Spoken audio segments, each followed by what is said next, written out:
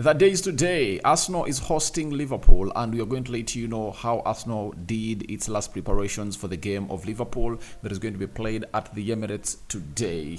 How many hours from now? Close to seven hours from now. That's when the game of football is going to be broadcasting live on different broadcasting channels all over the world. And we are here to bring you how Arsenal went ahead, obviously made make their last preparations, and what Arteta had to say about this beautiful game of football and what the players of Arsenal are looking at this beautiful game of football. Smash the like button, comment and share. If at all you're watching us for the very first time, endeavor to subscribe to this channel so as not to miss out on stories that we do upload in here on a daily. Rock and David is my name. I hope you guys are really having a fantastic stay. Wherever you are, those that have just gone ahead to go to church, those that we went in early, may the living to God bless you abundantly. And for the Muslims, Barakallahu fikum. And let's obviously get this running and rolling. Now, Arsenal and Liverpool are yet to, to, to tussle it out today at the Emirates Stadium. We all know that it's going to be a huge one. If at all Arsenal win, they'll close down on Liverpool and they'll be two points behind Liverpool. If Arsenal lose to Liverpool, they will be eight points behind Liverpool, and that means Liverpool have gone ahead to obviously put there an outstanding gap in between them. And this is the only chance Arsenal has to obviously claim its trophy of Liverpool because if you cannot beat Liverpool, then you have no right to come out and claim for a trophy when you are playing against them. So let's see to 200 likes much in this video and let's also subscribe because we want to hit 20,000 subscribers before the end of this week. And I know we are nearly there. We are nearly there. So, guys, let's continue subscribing. Now, Arteta had the following to say on this beautiful game of football that's going to be played today at the Emirates. He said, We need to do this play we need to what we need to do is play the way we played in the last two games against them and be more efficient in areas that are going to decide the game. I'm very excited. It's always great to prepare a game against liverpool how good they are. They dominate every aspect of the game. We play at home and what I sense is a real sense of positivity and enthusiasm around the place. Now, talking about being efficient, I believe that in the previous two games that Arsenal is going to hit to play, they drew at Anfield and lost in the FA Cup to Liverpool. They never collected maximum points out of those games because of their not being clinical and efficient in front of goal. That's what they had to do. You remember chances of Kai Havertz, Reiss Nelson, Bukayo Saka, Martin Odegaard. I think we even went ahead to hit a poor, um, the frame of the goal. So it is evident that what has been disturbing Arsenal is to kill off those chances. And if Arsenal can come in through and kill off their chances today, they can obviously get this team out of their way and really give them a beating that they will never ever forget in life. Then he was asked on Arsenal's F FA Cup game against Liverpool and if Arsenal were better in or were in a better place or and if Arsenal are in a better place now to really knock them out. He said, in terms of the team performance, very similar. Obviously, we had an opportunity to refresh and reconnect again when we went to Dubai, and then we had a long period as well between the Palace and Forest games. And my feeling is that we continue to play really well. Obviously, we are much more efficient in the final third, and that's very helpful to win football matches. So, he's referring to the two games that Arsenal have gone ahead to play after that loss of Liverpool in the FA Cup 2 0. I think it was Diaz and who? And Diego Jota, I think. Those two went ahead. Sorry, it was an own goal coming in from Jakub Kiwior, and then um, Luis Diaz went ahead, obviously, score into the dying minutes of the game. So he has gone ahead to refer to their seven goals. They've gone ahead to score in the previous two games. And referring it to the first uh, question he really answered that I showed you at the beginning of the video that they lacked efficiency in front of goal to kill off these games. And as it stands it's all about them being efficient. Having gone ahead to score seven in the previous games shows you that they can really get in more and more and more. It's all about them scoring goals, and if at all they can score goals, they need to obviously, or they will see themselves into the levels of really lifting this and taking it away to where they want to be. And lastly, before you go into the footage that happened at the London Colney, remember it's no longer the London Colney, by the way. I was going ahead to get a new name I'm gonna really get that name right. Um, Arteta on if a win against Liverpool would provide confidence and momentum. He said, Yes, and we have done it. This season, we've beaten big teams already, and it's another opportunity to beat Liverpool now and be in much better place. We talk about momentum. We've won the last two games, and we want to win the third one, especially at home with our people. It's going to be an incredible atmosphere, and we are going to need that. So, I encourage everybody to do that, to play every single ball with us. And if we do that, we are going to have a chance to win the game. Now, talking about all the big teams that have gone ahead to play at Emirates, I think it's only Spurs that has gone ahead to obviously survive and really get away with it. But Manchester United, the team that I support, you know, never went away with it at the Emirates because Arsenal beat Man United by three goals to one. Declan, Declan Rice's late winner, followed by that Gabriel Jesus goal where he sat down Diego Dalot to make it 3-1. Then Arsenal went ahead to beat Man City by one goal to nil.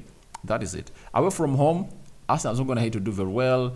They drew with Liverpool, they drew with Newcastle, they drew with uh, Chelsea. But at Emirates, it's only one team that is going to ahead to get points at the Emirates, in, or a point at the Emirates in the top five or six teams that we really believe make the traditional six of the Premier League. So he's sending the same message to Liverpool that if you come in the league and these players really execute exactly what I'm telling them, they are gonna really face it rough. And I really know exactly why Arteta is saying that.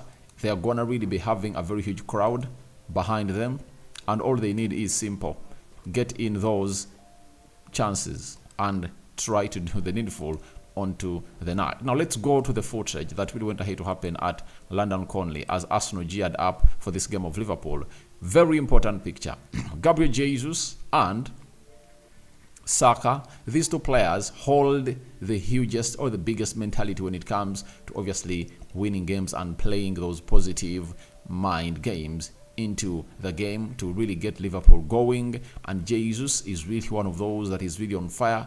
Previous two games, one goal and two assists. Those are three goal contributions in two games. It's going to be very pivotal in today's game. Zinchenko pointing on his head and is telling his fellow players that the mentality needs to be right if you are to obviously win against Liverpool. Then Gabriel Magalhaes and William Saliba, the pairing is really making wonders. And remember, the last Premier League game that Arsenal played at Anfield, guess who put them ahead in the third minute? It was Gabriel Magalhaes. And sometimes, this is where I caution, I caution the, I caution the decision making of Mikel Arteta because you've gone ahead to take a lead at Anfield, you know, at three minutes, what do you do? You sometimes trick Liverpool. You say, in the next 10 minutes, I would like to get the second goal, but what, what am I going to do? Let me invite pressure from Liverpool and just hit them on the break. So I think that sometimes it needs to obviously be so much tactic changing in the game. Odegaard and Kai Havertz obviously celebrating their achievement. Arteta obviously demonstrating how the midfield passes should go to his players. He is a hands-on manager and that's why he's really very special and he can easily convince players to come in through and join him at the club of Arsenal. This is Nwaneri, obviously showcasing his best and when I look at these youngsters of Arsenal, I really believe that Arteta should be doing better. These likes of Nwaneri should be already into the first team, but I don't know why Nwaneri isn't part of the first team always. And I know sometimes they've gonna hate to put him on the bench, but he doesn't even make it off the bench to come in through and really play. Because, like for the game of Crystal Palace, if you're having Nwaneri on the bench, when the game is like 3 nil, you can easily bring him on to play some 10 minutes. That is it. And I saw another youngster called Kamara yesterday when Man United was really beating the under 18s of Arsenal 4 2 to knock them out, I think in the Youth Cup of under 18. I saw another wonderful player. He goes by the names of Kamara. You know, he's a left attacking midfielder. If you look at his goal that he scored against Man United, he has good quality, and I know he's going to be one of those that is going to make it through. Kai Havertz having a chat with Mikel Arteta, and Arteta was issuing him instructions on how he expects him to be playing and moving into the game of Liverpool that's going to be played today. Then Saka also was all in action and ready to really go hands-on with Liverpool. Elneny, fresh from the African Cup of Nations, knocked out by DR Congo He's back into the training sessions and geared up for the game of Liverpool also. This is Martin Odegaard, the captain, who knows exactly what it means. Obviously, take it on to the levels of winning the league that they need to win this game of football because you need to put yourself in a position of really winning the league by winning your games against big teams, such that other teams, if at all they help you lose, then it's a by the way. But you should take the mantle and you should take what we call center stage in such games.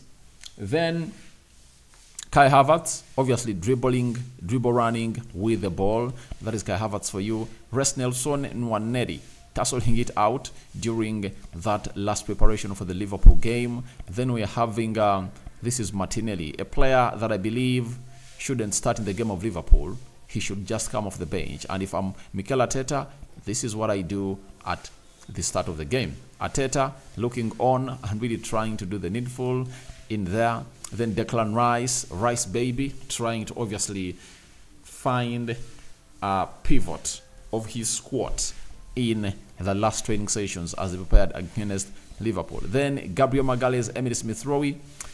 Every time I look at Emile Smith Rowe, I just pray to it that he really keeps himself fit. The only hugest hinge in his career at Arsenal have been injuries because his position is there.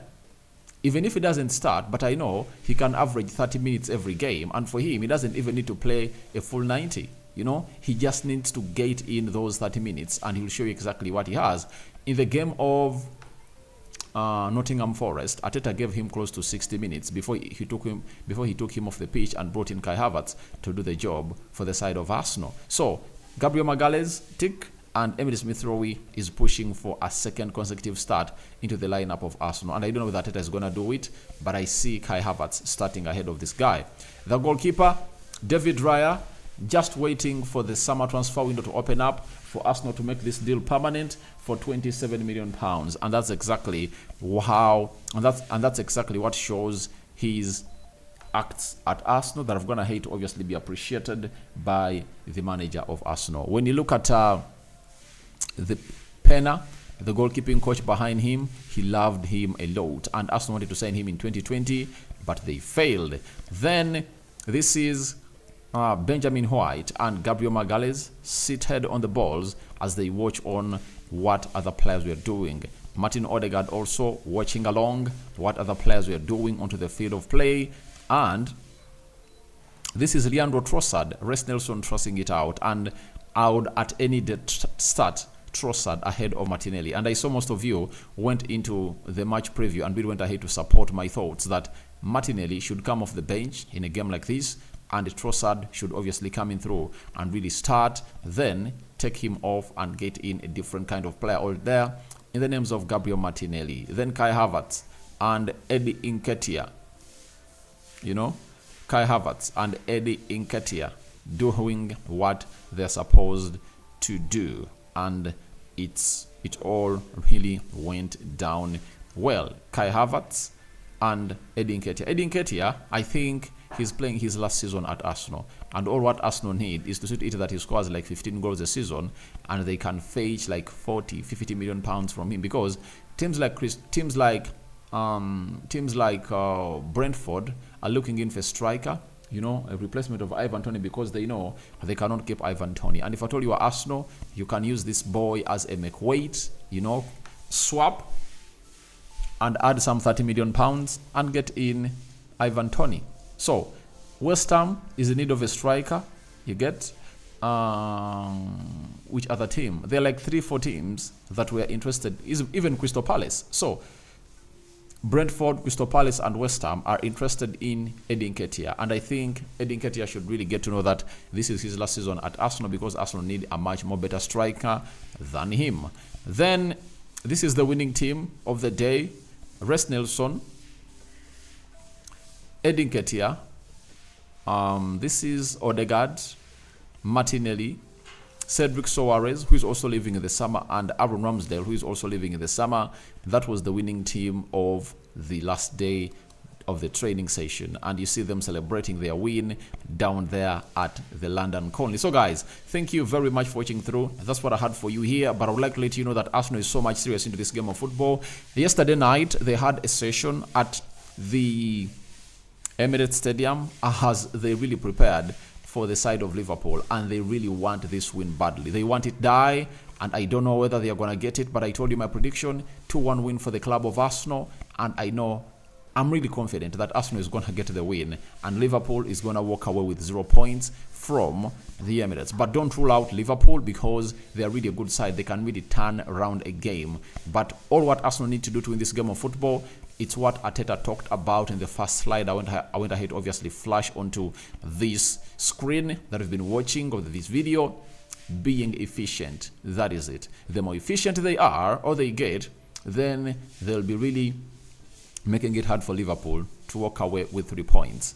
We sign out for now. See you later. The Muslims, Barakallahu fikum. The Christians, we cover you all in the precious blood of Jesus Christ. And may the living to God bless you abundantly. Rokan David remains my name. And I'm out for now. See you. I'm coming back with the combined 11 in a space of one hour. Stay tuned.